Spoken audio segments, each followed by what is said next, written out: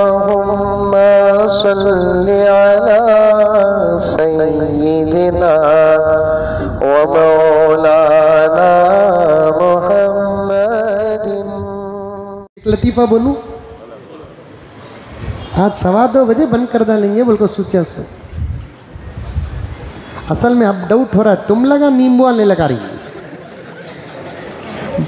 ये तो अच्छे लोग आए, आप लोग बयान सुनने का शौक है।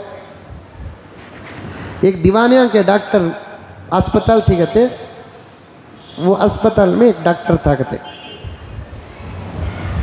मैंने किताब में पढ़ा, दीवानों के माहौल में रहने वाला अक्लमंद भी दीवाना होकर मरता कहते। हैं और हमारी किताबों में तो साफ़ तौर पर लिखा है कि अक्लमंद दुश्मन से मुकाबला कर लेना बेवकूफ़ से दोस्ती नहीं करना। हम्म, एक अलग बात है। क्या क्या ही मालूम किताबा हमारे पास अल्हम्दुलिल्लाह। ये बेवार सी हालत हम ना इधर उधर जाने देते नहीं। अब उन्हें डॉक्टर गया मरीजा कैसे ही किधर ही राउंड में जाता नहीं डॉक्टर रे। वैसा गया।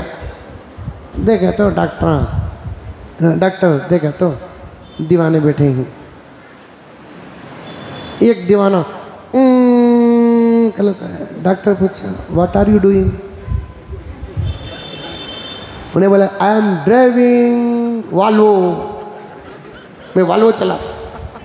डॉक्टर को इलाज दवा असर कर रहा है और एक जना है ना, ऐसा अदब से बैठा है क्या रे? शादी मेरी।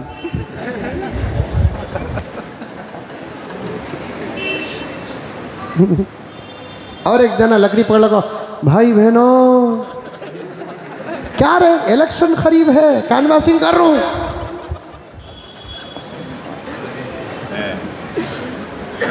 एक एक दीवाना, एक एक हरकत कर रहा है। एक दीवाना क्या भी कर रहा नहीं, एक सुराख में देख ले को है। डॉक्टर सोचा इसे डिस्टर्ब करना नहीं। खामोश है, क्या कि देख रहा है, देख लो रहन दो। मरीज़ जितना खामोश रहता सोता, उतना अच्छा उसके वास्ते। डॉक्टर दो तीन घंटे के बाद फिर आया तो पूरे दीवाने सो गए इन्हें सोया नहीं। ये सुराख में देखने वाला। अब इन्हें देखा नहीं कितने गौर से देख रहे हैं ना, आखिर क्या देखता रहेंगा बोल हट बोल को, डॉक्टर देखा क्या भी दिख रहा नहीं। दीवाने को पूछा क्या बीच नहीं है रहना अंदर? तीन घंटे से तू क्या देख रहा? है उन्हें दीवाना डॉक्टर जय दीवाने, तीन घंटे से मैं देख रहा हूँ, मंदिर दिख रहा ही नहीं, आते ही तुम ना दिखता।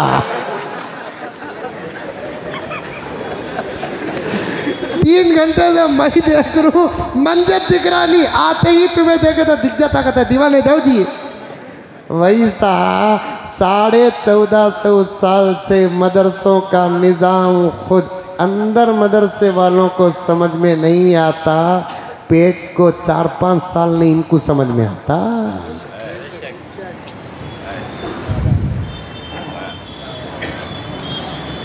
काली तकरीर सुनकर मज़ा ले ले को तारीफा, ये वो नहीं करना।